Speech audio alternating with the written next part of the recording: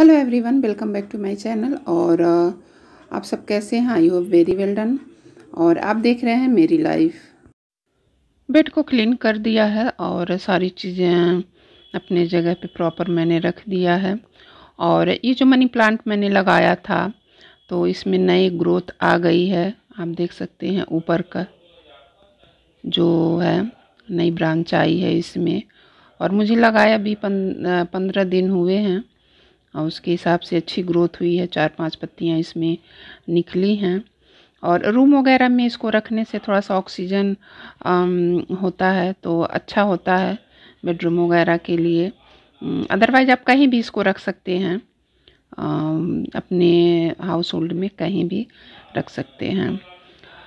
उसके बाद जैसा आपको पता होगा कि ये मेरे घर के सामने पानी लगा था तो पानी अब निकल गया है और उसके बाद ये मैं धुलाई कर रही हूँ। सोची कि अच्छे से क्लीन हो जाए, क्योंकि पानी वगैरह लगा था तो काफ़ी गंदगी हो गई थी। और आप तो जानते हैं कुछ में हम लोग को आना जाना पड़ा। तो ये साइड से मैं मेड पोछा तो लगाती है, बट उनको अच्छी तरह से ये सब चीज़ें नहीं कर पाती हैं। और ये साइड में गंदगी हो गई थी। तो हल्का सा हारपिक डाल के मैं इसको सफ़ाई कर रही हूँ। क्योंकि हल्का सा हारपिक डाल देने से जो है गंदगी वगैरह जो है निकल जाता है। स्पेशली मार्बल जो है क्लीनर आता है, बट मैंने अभी लिया नहीं है और देखती हूँ। तो मैं इसी से जो है ये हारपिक से ही डाल के और कर देती हूँ क्लीन और हाथ में ग्लव्स भी मैंने पहना है। क्योंकि हार्पिक जो होता है वो काफ़ी जलन करता है हाथ वगैरह में। तो इसलिए आप जब भी करिए तो इसको आप अपने हाथ में ग्लव्स वगैरह ज़रूर पहन लीजिए ताकि आपके हाथों की सुरक्षा हो पाए।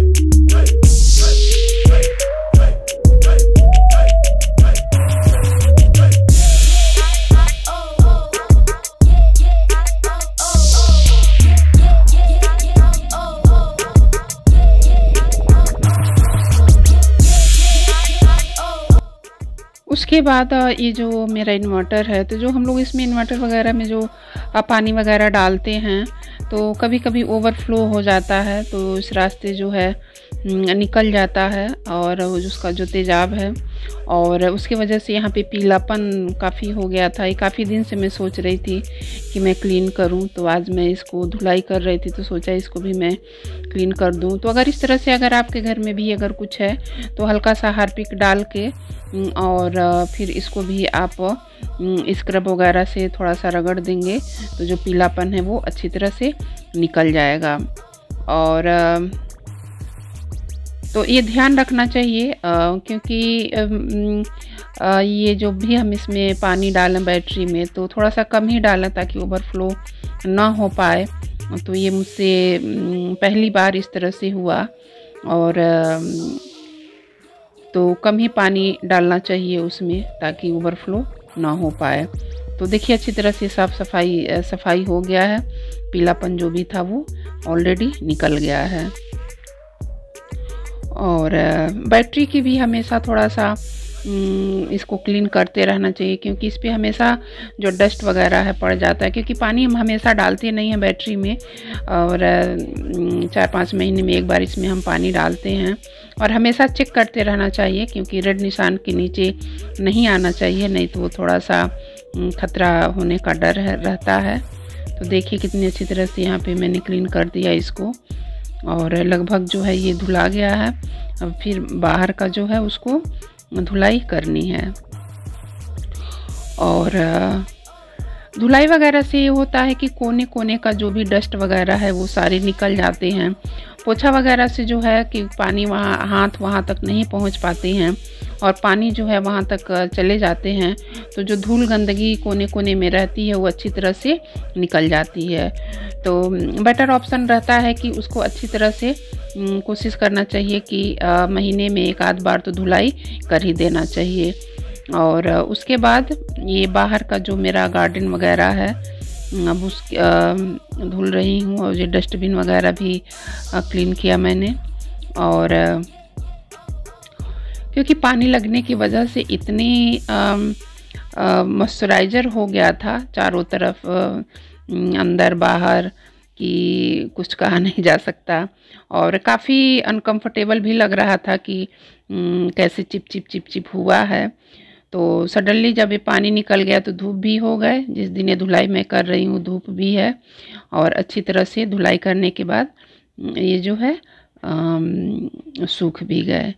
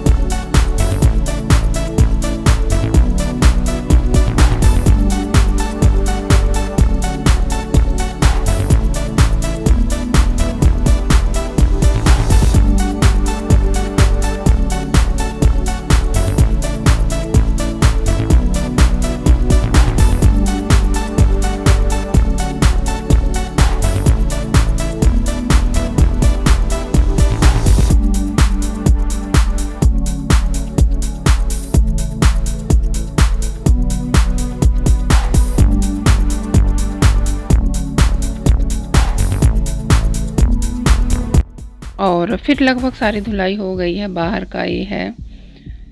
तो बस जो सीढ़ी आपको स्टेप बाई दिख रही है, बस ऊपर की जो बस है, एक सीढ़ी बस बची थी, इतना पानी लगा था। और उसके वजह से काफ़ी दिक्कत हुई हम लोगों को। और बट जो चीज़ आती है, फिर उसको ख़त्म होना ही होता है। और लगभग यहाँ पे सारी क्लीनिंग वगैरह मेरी हो गई है।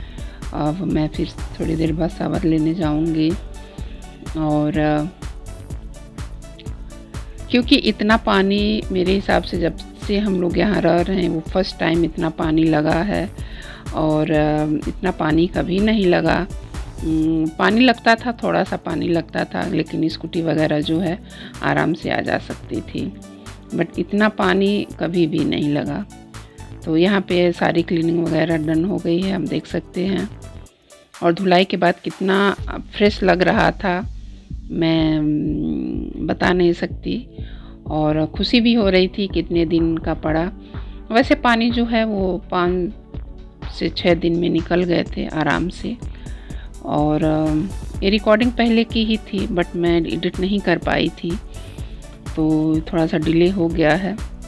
और क्योंकि बीच में त्यौहार वगैरह आ गए थे तो फिर त्यौहार का भी करना था। तो इस वजह से और सारी क्लीनिंग कंप्लीट हो गया। और घर जब साफ़ सुथरा रहता है तो थोड़ा सा अच्छा भी लगता है। लेकिन जब थोड़ा सा मजबूरी हो जाती है तो फिर वही दिक्कत होती है आ, कि नहीं हो पा रहा है क्लीन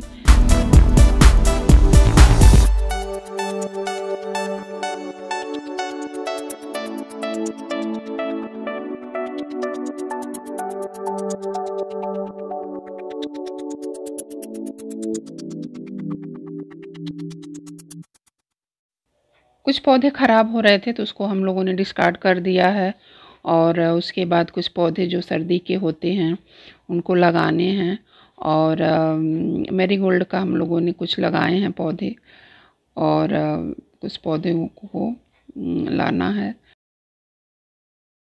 तो उसका जो है शेयर करूँगी आप लोगों के साथ और क्योंकि कुछ गमले वगैरह काफ़ी टूट गए हैं और यहाँ पे जो क्लीनिंग है, देखिए कितनी अच्छी से जो साइड वाली होती है, वह हो गई है यहाँ पे। और सावर वगैरह मैंने ले लिया है। और दोपहर के लंच में ये करेला भरवा बना था। और फिर लंच वगैरह हम लोगों का हो गया है।